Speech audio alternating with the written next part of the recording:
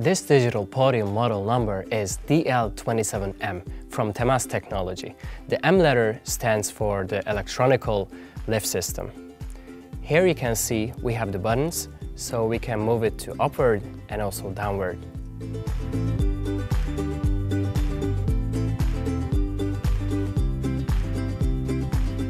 And with this height, it is also eligible for the disabled and also for the children.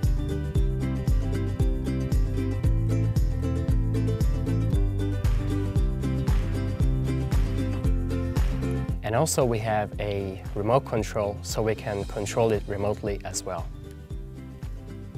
In the front of the device, we have a 22-inch Full HD digital signage screen. It also has a content management software. It is used for connecting your devices, your laptops, and other electronics, so you can broadcast remotely. It also has a tempered protection glass. The device also has a 27-inch Full HD resolution touchscreen, and it also has a PCAP touch technology. The screen's response time is very fast. Here I'm going to show you the response time of it. It also has a 10-point touch.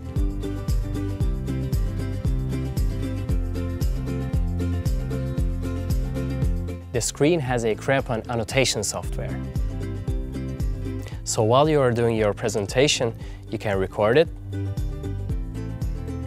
you can take notes,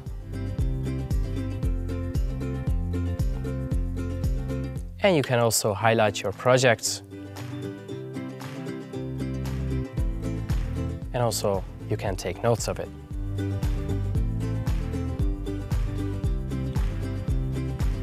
In the sides of the DL27M, we have a stainless steel handle for the speaker. The DL27M has an 18-inch Shure microphone. And it also has a mute option right here, and also a shock mount for protection.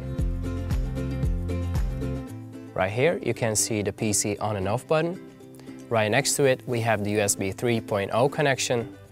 And right next to it, we have the USB 2.0 connection for reflecting your um, projects and for the external accessories.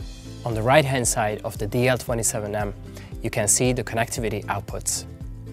So here we have the master on and off switch, we have the power plug, we have the microphone output, we can see the RJ45 for internet connection. We have the USB 2.0 connected to the player PC inside the podium. We have the HDMI out for connecting to projector or interactive whiteboard or large format screen.